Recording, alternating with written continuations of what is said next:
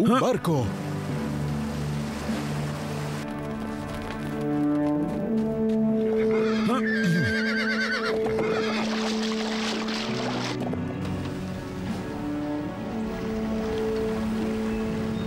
Esa es la tierra de los sajones. Ahora es una tierra pagana, pero hace 100 años aún era cristiana y romana. En el año 590 de nuestro Señor, el monje Agustino llegó al río Támesis, a lo que hoy en día es Gran Bretaña, acompañado de 40 monjes. Él iba a entregarle una carta a Ethelbert, rey de Kent, proveniente del obispo de Roma. ¡Adiós!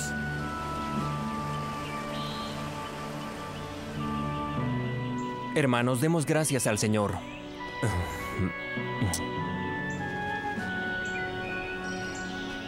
Agustino, ¿sabe el camino?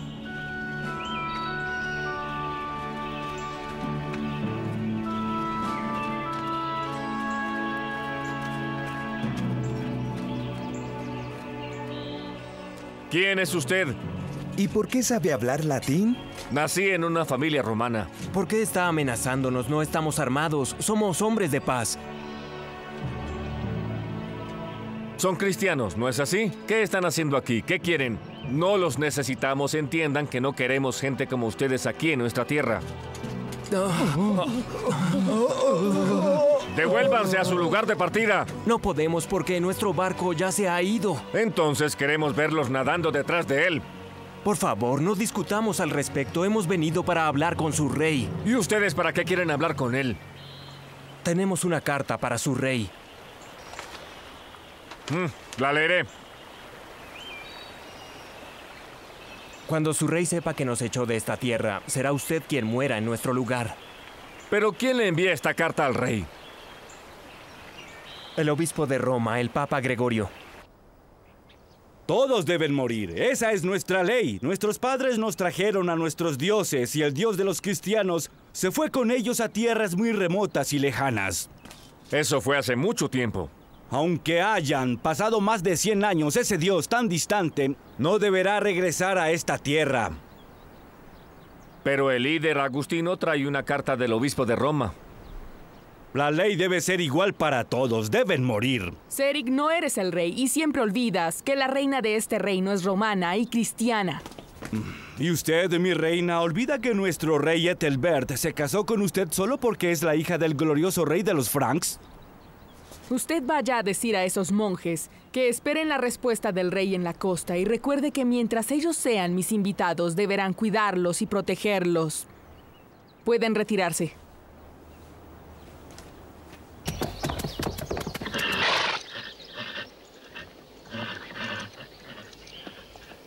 ¡Vamos!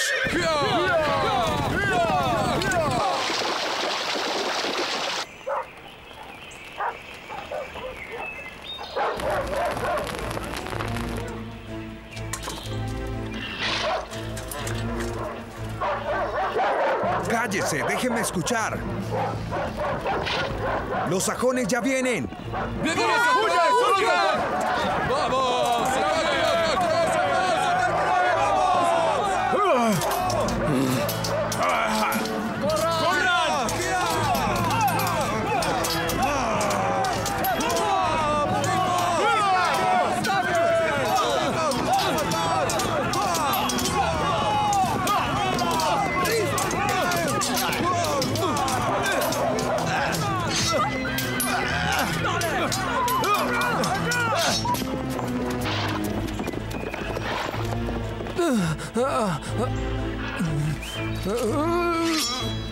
La vida o la muerte, decida mi señor.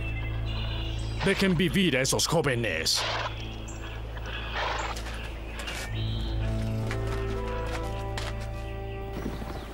Cerca de un siglo había pasado desde que las legiones romanas no habían ido a Bretaña y no habían cruzado el canal.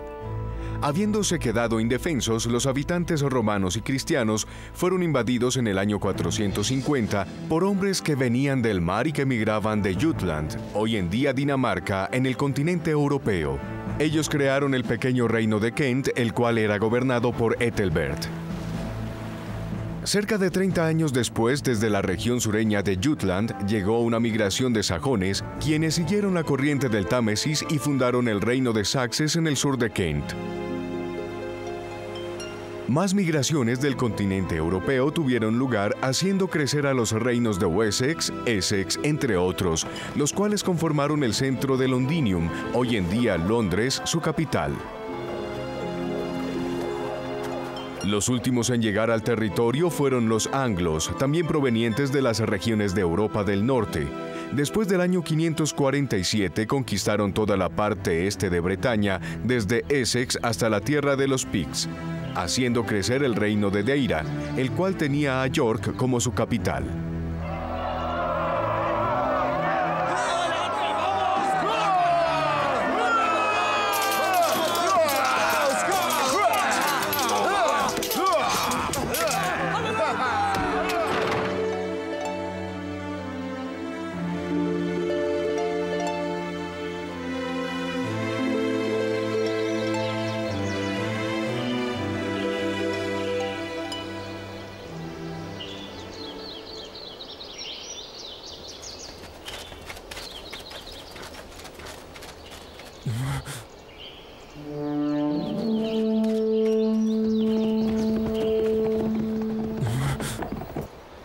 He venido a conocerlo, Agustino. Le hice caso a mi esposa y leí la carta del obispo de Roma. No tiene de qué preocuparse, rey Ethelbert. No hay nada que temer de nosotros. Mi señor, ellos son cristianos, como los que nuestros antepasados persiguieron y expulsaron hace más de 100 años. Creo que serán un problema para nosotros porque son iguales a esas personas. Como puede ver, todas las pruebas están en su contra, Agustino. ¿Por qué debemos confiar en usted? Como puede ver, estamos desarmados. Solo hemos venido a predicar acerca de la paz y el amor de Jesús, el Mesías, al que ustedes llaman el Dios joven. Él es el creador del cielo, de la tierra y de todo ser viviente. Es un Dios poderoso y misericordioso que vino al mundo para brindar felicidad también a toda su gente. Venimos a anunciarles su amor. Eso es exactamente lo que mi reina dijo. Solo pedimos que nos dé el tiempo necesario para aprender su idioma. Luego, si así lo permite, podemos impartir nuestro conocimiento a quienes usted desee. Yo no los conozco, amigos, pero obedeceré a mi reina. Se pueden quedar a trabajar en mi reino y a enseñarnos lo que saben. Mis hombres los estarán vigilando y me mantendrán informado. Comprobará que se va a sentir bien de habernos dejado estar acá.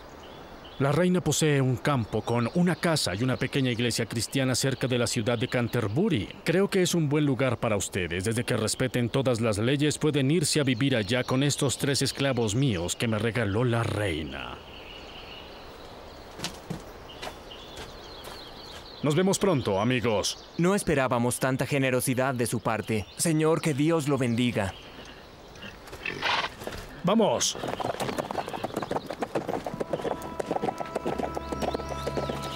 Ustedes son hijos de Dios como nosotros. Ya no serán esclavos, ahora son libres. Llevan con ellos la cruz. Sí, son cristianos. Hermanos, Jesús nos dijo, no se venden dos gorriones por un solo centavo, pero aún así no se cae la hoja de un árbol sin que el Padre que está en los cielos así lo desee. Eso es lo que el Señor nos enseñó. En la ciudad de Canterbury, Agustino y sus monjes establecieron una comunidad monástica basada en el trabajo y la oración de acuerdo a las reglas de San Benedicto, del cual eran seguidores. Estos hombres laboriosos y religiosos pronto se convirtieron en un centro efectivo de evangelización en el reino de Ethelbert. Y Pedro preguntó, Señor, ¿cuántas veces debo perdonar a mi hermano? Y Jesús le contestó, hasta 70 veces siete. En la corte real, muchas mujeres de la realeza se convirtieron y escogieron a la reina Berta como modelo a seguir.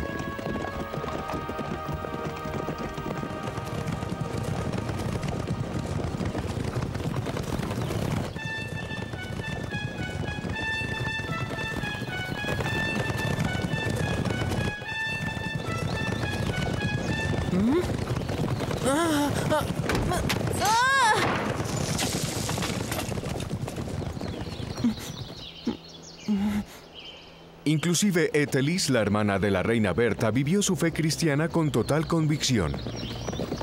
Deténganse.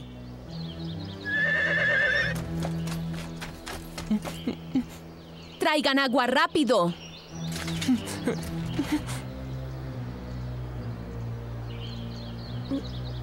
Me duele mucho. ¿Y tú, pequeño? ¿Estabas presente? ¿Viste lo que sucedió?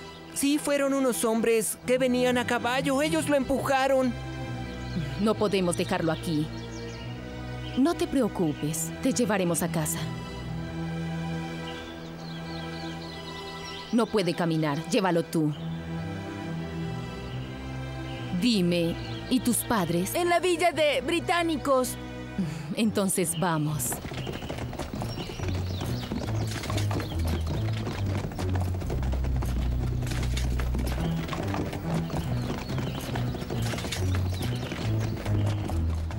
Hijo mío, ¿qué te ha pasado? ¿Ustedes qué le hicieron a mi hijo? El niño está bien, solo necesita descansar. Dígame cuál es su casa, yo lo llevaré allá. Ya deme a mi hijo, yo no necesito de su ayuda. No debió tocarlo. Él pertenece al verdadero Dios. Tranquilízate y ocúpate de tu hijo. Yo también soy cristiana. Y agradecele a Dios porque tu hijo está con vida. Mejor muerto que en manos de traidores de Cristo. Pagarás muy caro ese insulto, anciano. Mi reina, ¿qué hago con él? No ve por el odio. Déjalo ir.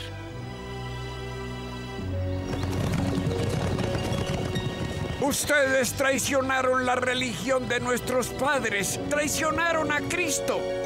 La reina Berta era una mujer de fe profunda y estaba llena de caridad y amor para con su gente. Su firme y valiente confirmación de sus creencias cristianas llevaron a su esposo, el rey, a convertirse también.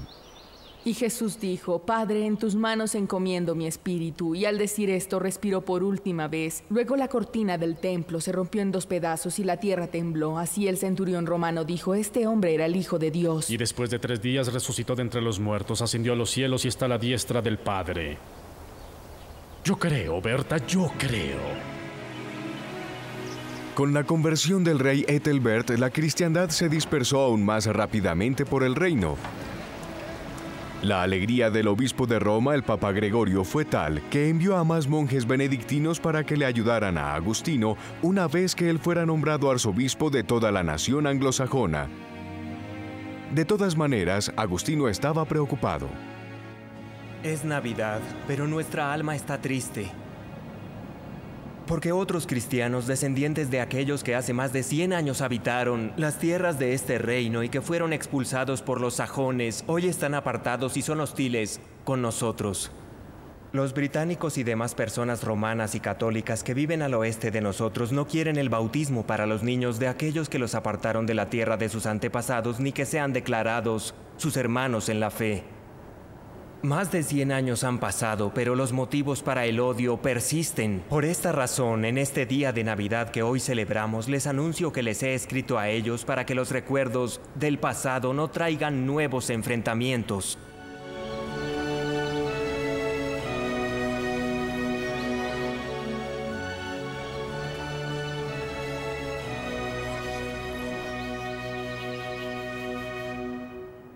Hemos analizado lo que nos ha dicho Agustino, cuya autoridad y sabiduría reverenciamos. Este asunto nos concierne, pero nunca tendremos nada que ver con los sajones, los cuales usurparon nuestras tierras. Nunca aprobaremos el hecho de anunciar el Evangelio a esa raza. Pero si los cristianos de esta isla no están unidos, si sus reyes no son hermanos y no se defienden el uno al otro de los reyes paganos, estaremos perdidos porque el Cristo al que reverenciamos es uno solo. Nuestra gente debe estar unida y nuestros reyes deben sentirse como hermanos. Sí, tal vez tengas razón, pero esta es la voluntad de los británicos. No podemos compartir nada con los sajones, ni el bautismo. Todos somos hijos de la iglesia romana, pero también somos diferentes personas. Agustino se sentirá mal cuando lea lo que ha escrito. Él está en sus últimos momentos y les enviará sus bendiciones.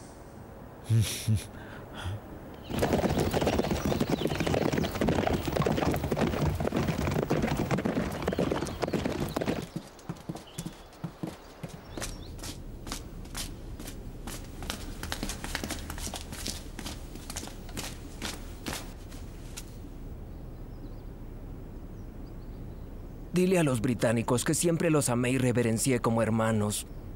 Dile a todo el mundo que si los cristianos de esta tierra no forman una sola iglesia, vendrán días de sangre y desesperación. Que la gloria sea para el Padre, para el Hijo y para el Espíritu Santo. Amén.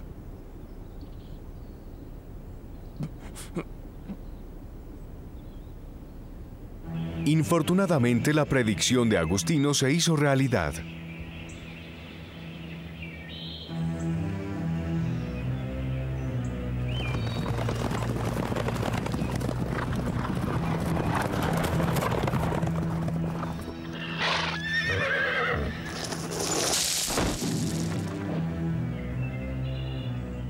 Solamente a escucharte.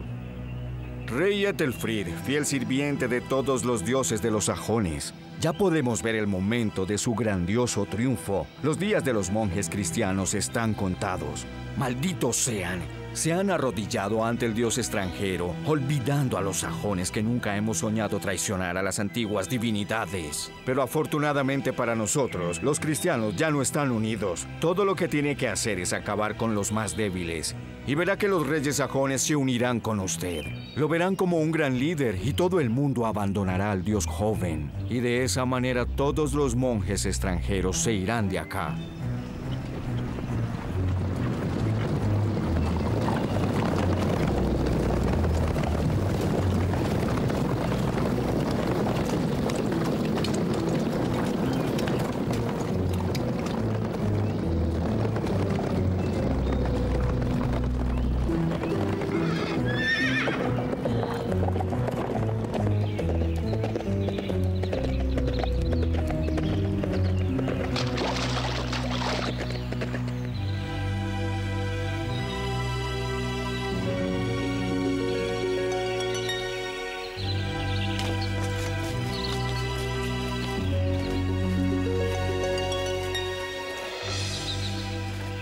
¿De qué lugar vienen, hermanos? Tuvimos que dejar el monasterio de Cornell. ¿Los atacaron en el camino? No, no. No se preocupe, nos encargaremos. Sí, lo harán, en el nombre de Dios. Sus dioses de piedra no son nada delante del Padre Todopoderoso, Creador del cielo y de la tierra. Le ruego que pida por nosotros también, Padre. Mientras pelean con sus armas, nosotros lo haremos con oraciones. Les dejo mis bendiciones en el nombre del Padre, del Hijo y del Espíritu Santo. Amén.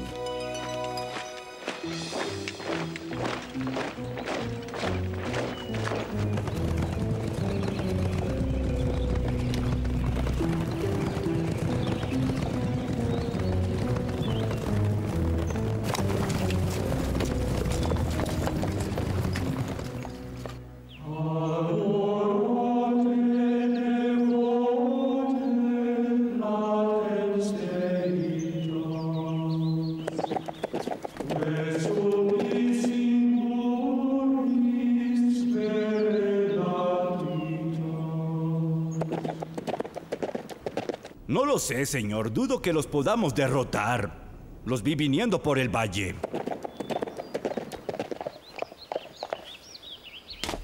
Son al menos 500 jinetes con armaduras, lanzas, escudos, espadas y hachas y al menos 3.000 hombres de infantería armados hasta los dientes. Pero nuestros hermanos de la Armada del Norte ya vienen. Sé que junto con ellos sobreviviremos. Ellos no van a venir. Yo me detuve en todas las ciudades y les di su mensaje. Aceptarán a nuestras mujeres y niños como refugiados, pero no vendrán. Dicen que tienen que quedarse cuidando sus animales, sus campos, y que temen que los hombres del mar lleguen y tomen ventaja de su ausencia, destruyendo sus casas y llevándose a mujeres y niños. Les pedí ayuda, les dije que seríamos destruidos por los sajones si ellos no vienen a pelear. La verdad es que están asustados, tienen miedo de Ethelfrid, el destructor. En realidad están asustados por sus espadas. Estamos realmente solos. Ahora todo lo que nos queda es pelear a muerte. No, todo lo que nos queda es orar y ganar. ¿Ustedes recuerdan lo que el santo monje Agustino nos dijo antes de morir? Si los cristianos y los reyes no se unen, si no se aman los unos a los otros como una familia, si no se vuelven uno solo, si no son fieles a una sola iglesia, sino que están más divididos a medida que pasa el tiempo, pagarán su arrogancia con la muerte. Lo que puedo hacer en este punto es cumplir con mi labor.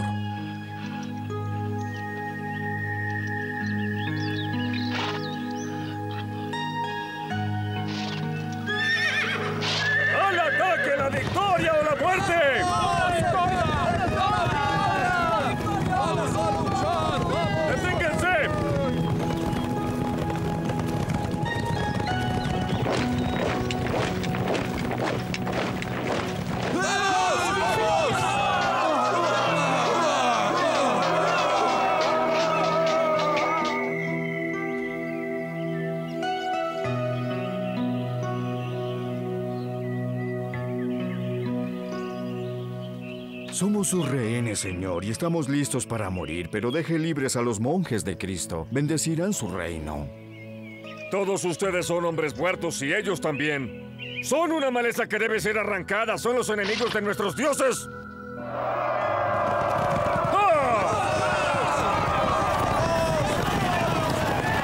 Los demonios salieron del infierno. Perdónalos, no saben lo que hacen. El rey Ethelfrid obtuvo la victoria en Bangor con la masacre de miles de monjes indefensos y cristianos británicos. De esta manera se plantó una semilla fértil de una iglesia renovada y unida, así como en los tiempos de las catacumbas, la sangre de los mártires se convirtió en la semilla de los nuevos cristianos. A medida que pasaron los años, los cristianos convertían a muchos más a la cristiandad alrededor de toda la isla, contribuyendo en gran parte a la unidad religiosa y civil de aquellas personas. Habiendo dado el primer paso hacia esta espléndida realidad y pasado su vida al lado de los monjes que lo acompañaron, el monje Agustino fue despedido por el obispo de Roma, el Papa Gregorio. Así dice el epitafio que el rey Ethelbert dictó para su tumba. Aquí yace Agustino, primer obispo de Canterbury, quien enviado por el Papa Gregorio, obispo de Roma, y sostenido por Dios a través del don de los milagros, convirtió al rey Ethelbert y a su gente de la idolatría a la fe de Cristo.